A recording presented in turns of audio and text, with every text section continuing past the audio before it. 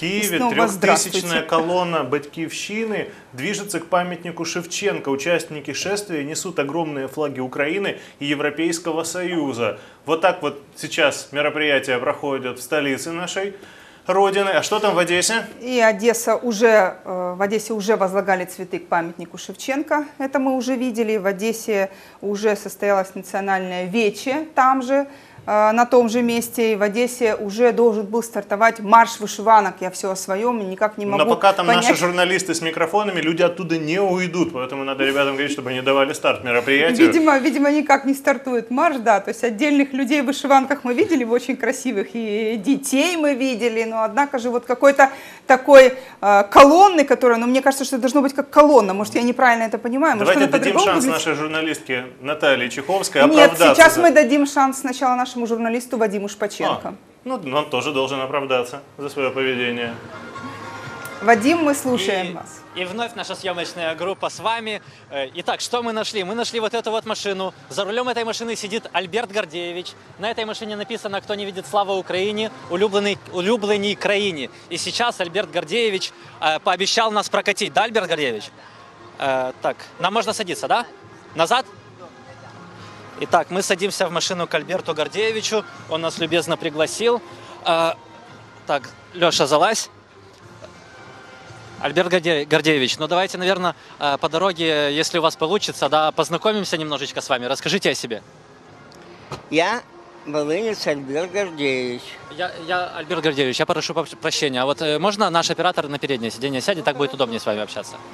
Итак, пока, пока оператор будет пересаживаться, я думаю, мы можем с вами начинать. Расскажите немножечко о себе. Э, Я первый предприниматель города Одессы. Мне 77 лет. Все это время я работал. В 60 лет у меня непрерывного стажа. Вот. И заработал у нашего государства пенсию всего 970 гривен в месяц, на которой, конечно, прожить нельзя. Вот. И я понимаю, что надо что-то менять. Поэтому я автор гимна Украины нового. Написал этот гимн, который будет вести Украину в прекрасное, светлое будущее. Ну, э, поскольку у нашей столицы Киева нет пока гимна, Альберт Гордеевич, э, я вас понял, а вот мы можем вот э, сейчас, пока вы будете нам рассказывать строки из своего нового гимна, ехать? Анатолий, Сейчас вот к нам Альберт Гордеевич приглашает еще гостей, и после этого, значит, мы поедем. чего ты ждешь? Ну, вообще, конечно, ощущение в этой машине... Я впервые в машине с откидным верхом, я признаюсь честно, а еще в такой ухоженной и... Пару слов можно сказать на камеру? э, ну, мы, нам, надо, нам надо ехать... э, По-быстрому, По-быстрому, по-быстрому. давайте, по-быстрому. Буквально одно предложение. Давайте. Вот э, спрашивают нас, зачем нам независимость. Я в Одессе родился, вырос. 30 лет назад под Одессой хотели построить атомную электростанцию, вспомните. И если бы независ... не независимость, мы бы все с вами жили в 30-километровой зоне. Всего лишь 20 километров Суть- от двух суть- столбов. суть ясна, нам Так надо ехать. Спасибо вам. Как вас зовут? Чтобы м- Александр. Александр, спасибо чтобы вам. мы решали, что строить, где, почему, а не кто-то в Москве. Вы Решили, решаете. да, Что вы захотели, построили Чернобыль, захотели, э, Теплодар построили. Садись, Анатолий. Итак, ну, мы стартуем, надеюсь. Альберт Гордеевич, а, какой у нас маршрут, куда едем? Вот за колонной. За колонной едем. А строки из вашего гимна вы нам обещали. Да, я сейчас вам его прокручу. Давайте. А он у вас записан даже, что ли? Ой, сейчас Альберт Гордеевич включит запись гимна Украины э, собственного произведения. И все это в шикарном Мерсед... в шик- несинхронно фальшивого пения «Хэппи А Я сейчас попрошу нашего оператора показать вообще а, Одессу, вот, э, что мы видим, собственно, из, э, из машины, да, пока едем. Вот, а в это время сейчас Альберт Гордеевич настраивает и готово? Итак, новый гимн Украины в исполнении Альберта Гра- Гордеевича. П- Давайте немножечко послушаем. Славься, Господь наш могутній і мудрий, світі на все твоя воля. Вільною стала козацька родина,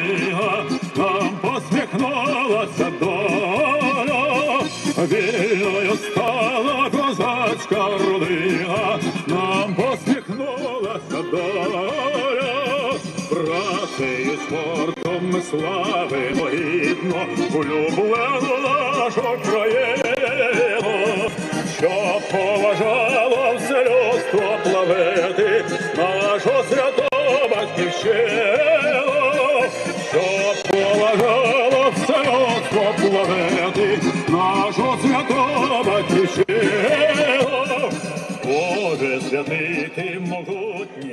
у каждого свой праздник, а не- Это точно, у каждого свой праздник. Свой гимн уже выясняется на И- самом-то И деле. вообще Вадиму Шпаченко опять-таки повезло, да? То Он есть находит, находит ярких личностей, он справляется с своей задачей. Ирина, что там сегодня еще интересного, Антон, сердечного? Ты знаешь, что сегодня э, даже любящее сердце Утечного моста украсили в цвета национального флага. М, Вот Прекрасно. такие вот одесситы креативные. Э, Празднично преобразилось металлическое сердце. Э, Флаг состоит теперь из пяти сотен желтых и голубых бантов, которые изготовили одесситы и гости города. Ну, Вот это, наверное, очень красиво. Я думаю, что это очень красиво, да, и хотелось бы, ну, возможно, наша съемочная группа побывает и там, мы, конечно же, постараемся, постараемся показать. Вот мы, по-моему, возвращаемся к э, Вадиму Шпаченко, да, хотя, насколько я знаю, с нами на связи сейчас должна быть Наталья Чеховская, да. Быть может быть, мы ее сейчас и увидим. Вот уже она. видим ее. Да. Она тоже, между Да. прочим, достаточно хорошо украшена. Возле памятника Тарасу Григорьевичу Шевченко уже практически пусто. Остались только самые-самые патриоты, ну и милиция, и вот протестующие. И мы встретили одного из вот таких вот замечательных людей, который хотел бы поздравить вас и нас с праздником. Здравствуйте. Я бы хотел поздравить вас с праздником, пожелать вам процветания и всего самого наилучшего. И хотел бы вам представить наше новое молодое общественное движение «Взгляд молодежи». Мы объединяем молодых людей с различными интересами. Главная общая черта – это желание помочь нашему любимому городу. И наше намерение я бы хотел высказать четверостишьем. Взгляд молодежи, в нем новая сила, не словом, а делом, и только вперед. Мы верим в Одессу, мы помним, как было, и сделаем так, что она расцветет. Спасибо. Спасибо вам большое. Вот такие вот одесситы. А мы продолжаем наш путь, продолжаем наше празднование. И сейчас мы отправляемся с вышиванковым э, маршем и будем маршировать вместе со всей Одессой. Давайте с нами. Скажите, а где можно будет это посмотреть? Или можно ли вообще? Ушел уже марш, их Наталье придется Вот, вот, догонять. вот, наконец-то марш, наконец-то мы увидим марш, да, с 10 часов утра мы ждем, когда же наконец-то Ну, начнется. Ушла Наталья, ушел марш, да, наконец-то Ну, стартовал марш. А То, я о чем и ты говорил, говорил, пока да. там Наталья, они будут кружиться вокруг нее, слишком красивых журналистов послали на событие. Но теперь-то уже все состоится. Так, господа, присоединяйтесь. Вышиванковый марш двинулся через центр города на Приморский бульвар. Там будут строить а, цепь из вышиванок, чтобы войти в Книгу рекордов Гиннесса. Там продолжается ярмарка народного творчества, там угощения, Там там, же рядышком события. украинская кухня в городском Да. саду. Там же э, в 15 часов э, возле памятника Дюку на Приморском бульваре будут угощать всех огромным караваем, э, который весит больше 10 килограммов. Поэтому, если у вас есть вышиванка, обязательно одевайте ее и присоединяйтесь к одесситам. Но даже если ее и нет, я думаю, что достаточно иметь просто хорошее настроение. Этого достаточно, чтобы присоединиться к празднованию и э, чтобы просто вот увеличить эту цепь там вышиванковых или просто не вышиванковых э, Чтобы участников присоединиться этого к празднику, этого, да. не обязательно иметь вышиванку. Вот Ирину буквально услышал а, президент Америки Барак Обама, который поздравлял украинцам с Днем независимости. И точно так же, абсолютно без вышиванки, но присоединился к празднику президент России Путин.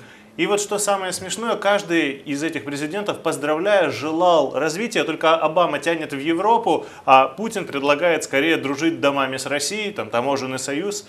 Так что посмотрим, что выберут украинцы, хотя после последней таможенной войны уже совсем другие интересы, похоже, проявляются у украинцев Президент э, Польши Комаровский тоже поздравляет нас. Такое впечатление, что все они, наверное, смотрят наш прямой эфир, да, потому что Они просто все хотят украинской кухни. Вот то, что в горсаду, они надеются, что позовут, угостят.